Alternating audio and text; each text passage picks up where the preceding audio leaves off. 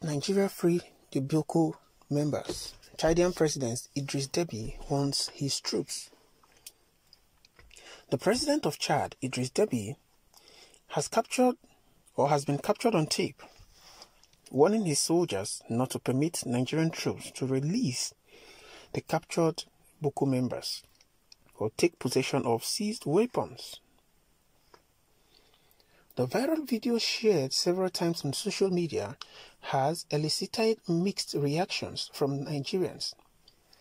In the video, Deby, who was clad in full military regalia, is seen speaking to his troops amidst cheers, saying that 90% of the Bukos have been destroyed. It will be recalled that the Chadian military recorded a victory or a major victory against the sect after launching a strong offensive killing of a strong offensive killing several terrorists and recovering a huge catch of their weapons. In the video,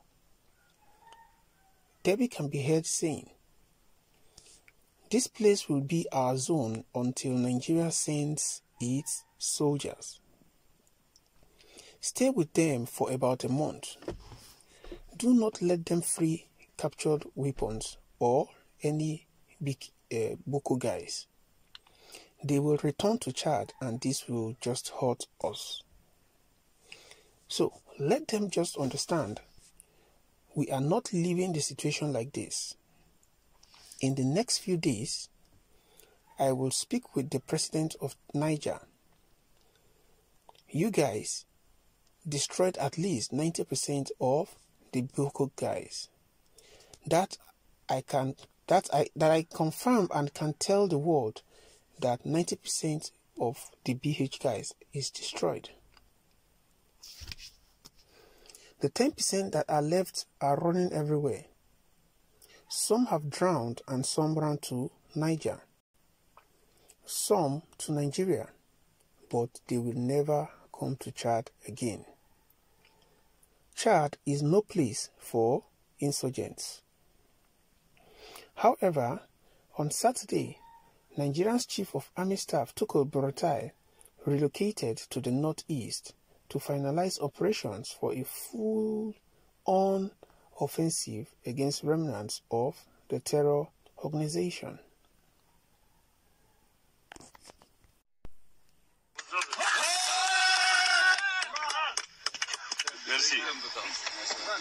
مكان درس منطقة هنا من ده قدام لحد ما نيجيريا. رسل عسكر هنا. يخطة. ونضمنوها شوية. الشهر كده. نقول معه. بعدين في الماء يخلوه. يجي بوكو يشيل السلاح. يقدم بعد ذاك كمان نبطل يجوا نبطل في تشاد. ينزلوا منين نبطل بيجينا في تشاد. ده بيتعبونا نية. عشان ده لازم مكان تفهمه.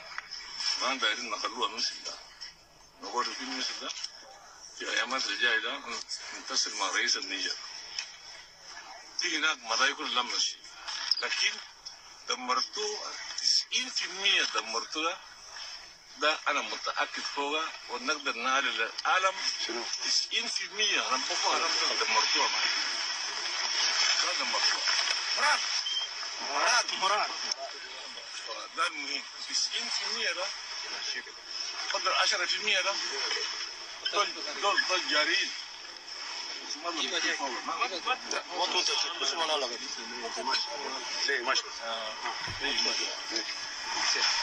فضل 10% 10% صغير فضل ده.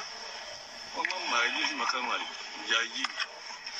جايين وبعدين زعلنا خلاص وبعدين دخلته النيجر وبعدين دخلوا نيجيريا الارجنتين ضربتنا بالتاكيد بالتاكيد سان كان سارا دري بنا بوما را أنا ما نعرف دري بنا بوما يوري كل جاي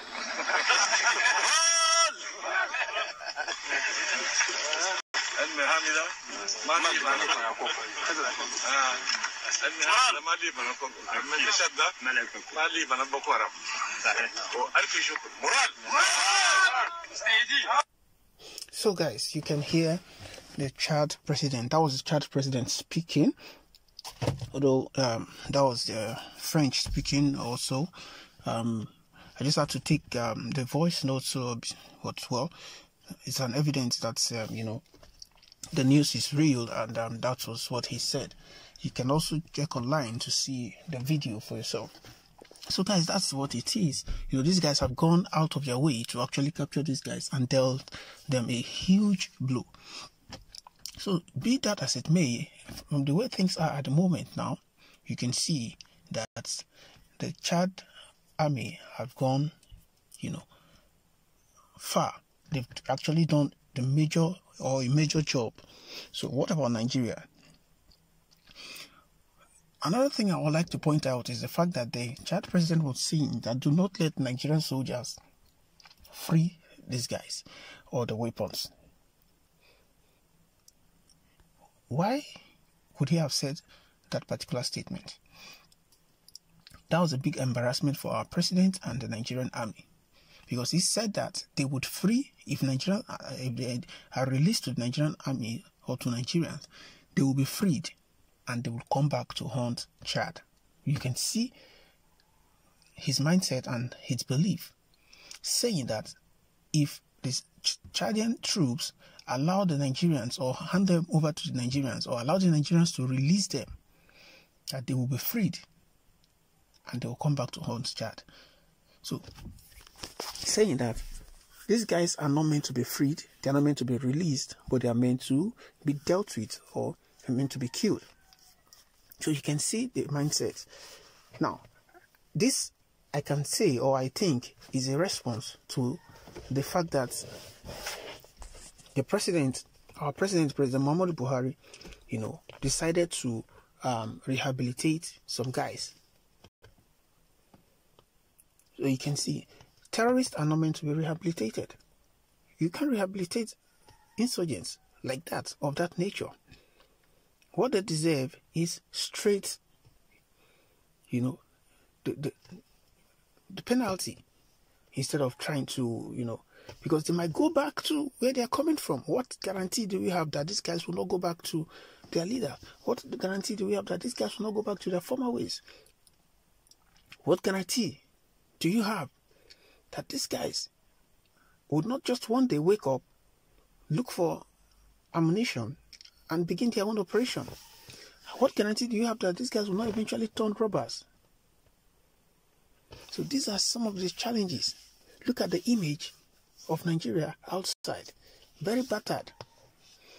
If the whole Chadian president can say that his troops should not release the arrested guys and the weapons they collected to Nigeria because Nigeria will release these guys and return their weapons back to them. And the guys, the Boko guys will come back to hunt the Chad Republic. It tells you a lot that this Nigerian government and the Nigerian military have been compromised. That is just the truth.